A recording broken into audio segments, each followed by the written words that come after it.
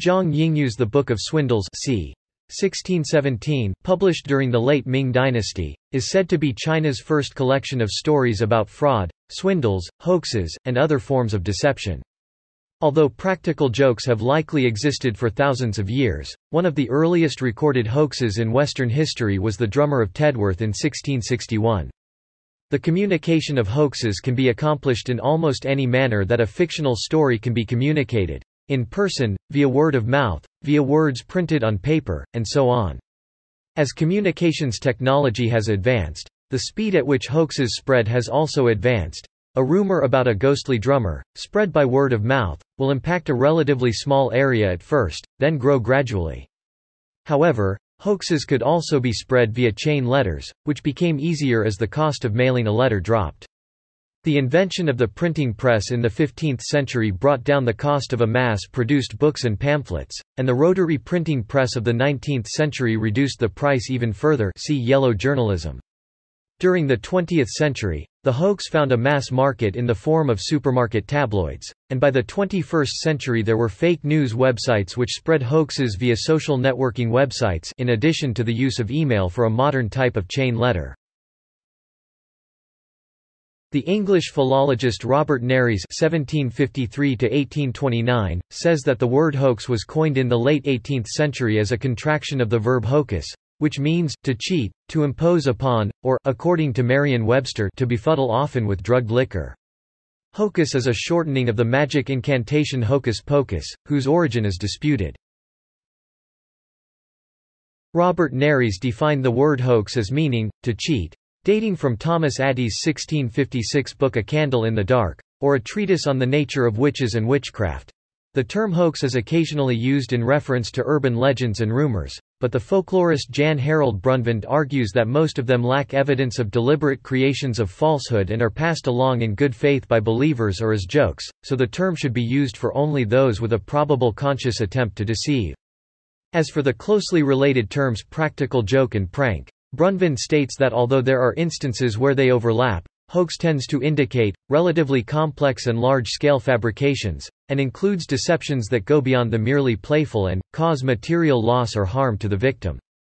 According to Professor Lynda Walsh of the University of Nevada, Reno, some hoaxes, such as the Great Stock Exchange fraud of 1814, labeled as a hoax by contemporary commentators, are financial in nature, and successful hoaxers, such as P. T. Barnum, whose Fiji mermaid contributed to his wealth, often acquire monetary gain or fame through their fabrications, so the distinction between hoax and fraud is not necessarily clear. Alex Boese, the creator of the Museum of Hoaxes, states that the only distinction between them is the reaction of the public, because a fraud can be classified as a hoax when its method of acquiring financial gain creates a broad public impact or captures the imagination of the masses. One of the earliest recorded media hoaxes is a fake almanac published by Jonathan Swift under the pseudonym of Isaac Bickerstaff in 1708. Swift predicted the death of John Partridge, one of the leading astrologers in England at that time, in the almanac and later issued an elegy on the day Partridge was supposed to have died. Partridge's reputation was damaged as a result and his astrological almanac was not published for the next six years. It is possible to perpetrate a hoax by making only true statements using unfamiliar wording or context, such as in the dihydrogen monoxide hoax. Political hoaxes are sometimes motivated by the desire to ridicule or besmirch opposing politicians or political institutions, often before elections.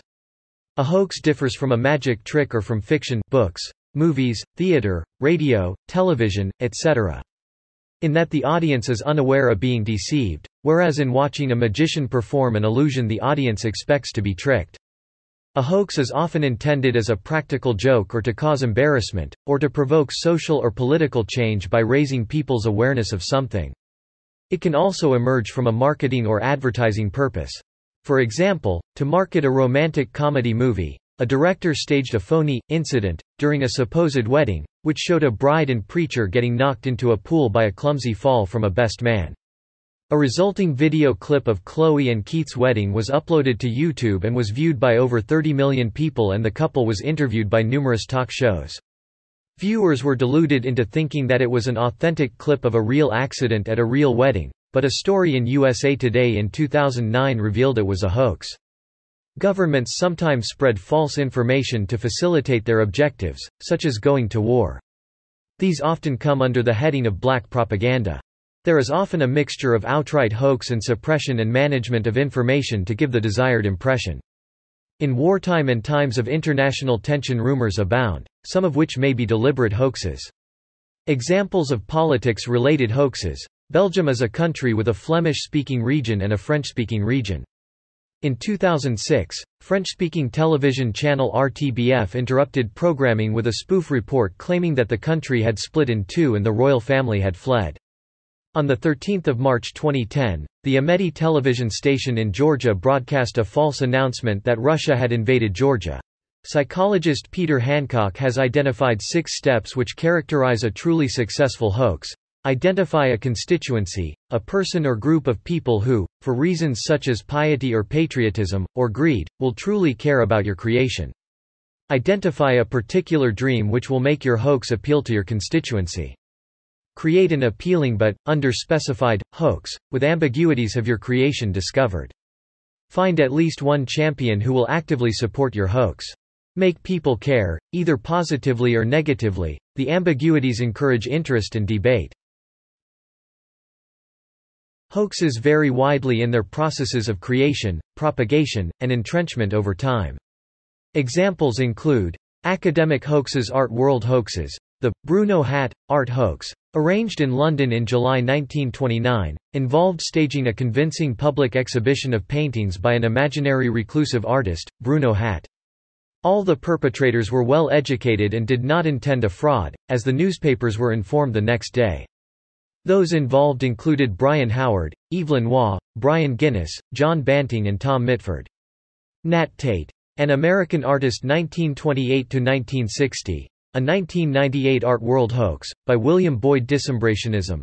A modern art hoax Pierre Brassau. Exposing art critics to modern paintings, made by a chimpanzee spectra. A book of poetic experiments. A modernist poetry hoax Ern Malley, the popular but fictitious Australian poet. Apocryphal claims that originate as a hoax gain widespread belief among members of a culture or organization, become entrenched as persons who believe it repeated in good faith to others, and continue to command that belief after the hoax's originators have died or departed. Computer virus hoaxes became widespread as viruses themselves began to spread. A typical hoax is an email message warning recipients of a non-existent threat, usually forging quotes supposedly from authorities such as Microsoft and IBM. In most cases the payload is an exhortation to distribute the message to everyone in the recipient's address book. Thus the email, warning, is itself the virus. Sometimes the hoax is more harmful, e.g., telling the recipient to seek a particular file, usually in a Microsoft Windows operating system. If the file is found, the computer is deemed to be infected unless it is deleted.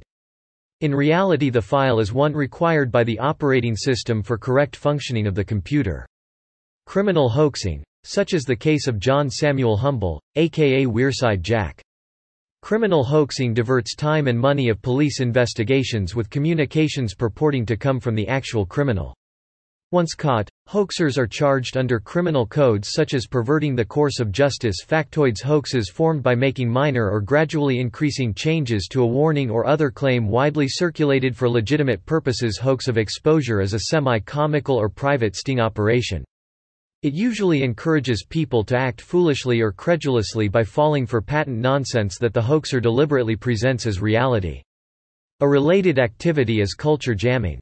Hoax news hoaxes perpetrated by scare tactics, appealing to the audience's subjectively rational belief that the expected cost of not believing the hoax, the cost if its assertions are true times the likelihood of their truth, outweighs the expected cost of believing the hoax cost if false times likelihood of falsity, such as claims that a non-malicious but unfamiliar program on one's computer is malware hoaxes perpetrated on occasions when their initiation is considered socially appropriate, such as April Fool's Day humbugs Internet hoaxes became more common after the start of social media.